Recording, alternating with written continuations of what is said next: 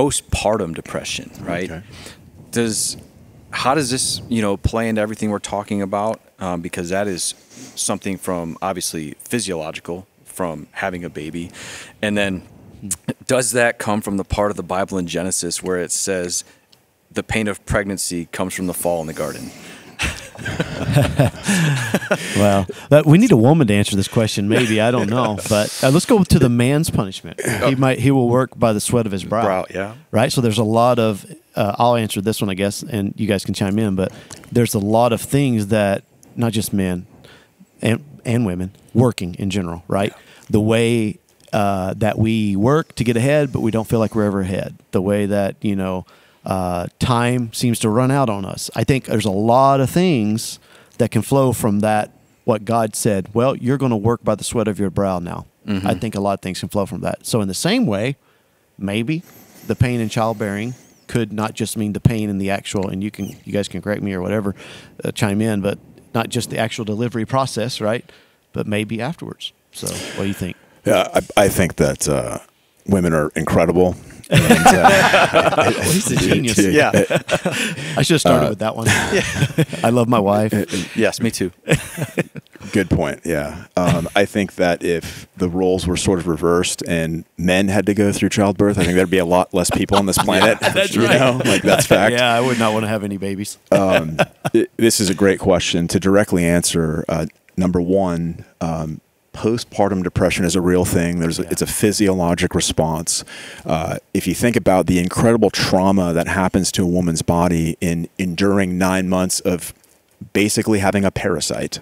And I'm saying that like I'm saying that with the respect, a very simple respect of energy versus it's using demand Your resources inside it your body. Yeah. absolutely taking priority of your physiologic processes in every organ system. Including your brain. It takes like half a brain to make a That's what I heard. right? We had That's a my lady on staff says. that was pregnant. She kept saying baby brain. And I'm like, that's not a real thing. And she's like, yes, it is. And so I Googled it and I was like, oh my gosh. yeah. It's a thing. The, the hormonal environment dramatically changes, but also at the end of that nine month period, uh, they are tasked with pull, uh, pushing a bowling ball through a mouse hole that happens to be in a very sensitive area.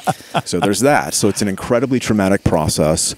Um, I do not think that postpartum depression is a punishment as a result Yeah. of the fall of sin, because if, if so, it would be universal, right? Everybody, every woman would have it. Yeah. However, we see an incidence of postpartum depression of, of about uh, somewhere between 10 and 15 percent.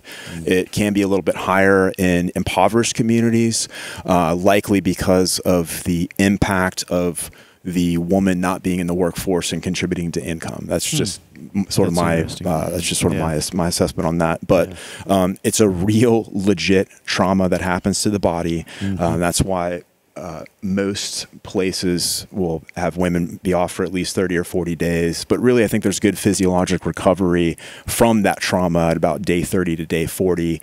Uh, but for some women, it's uh, it's more than that. Yeah. And that's provided everything goes well. If things don't go well, which there's lots of things that can potentially not go well in the whole birthing process, um, that, you know, that uh, correlates with longer recovery. You know, um, getting back to grassroots, common sense uh, disease treatment processes.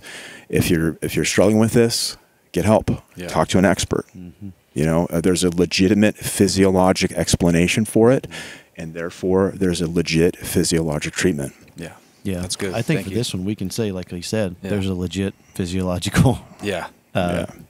pro, uh, issue Yeah, going and I really on. like the point Yeah. you said that if it was punishment, then every woman would get it. Yeah, and, that's true. You know, Yeah. I never thought of it that way. Yeah, and that is then good. you see the why in the question Yeah. that we need to get away from. Right. Yeah. Why is this happening? Is it Yep. because God's punishing the Focus woman? on the who, not the why. So it's just okay. It just happens. Yeah, Yeah. exactly. So.